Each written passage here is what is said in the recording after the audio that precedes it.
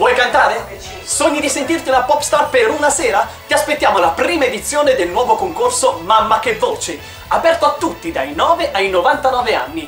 14 aprile le selezioni e 12 maggio la finale, la festa della mamma.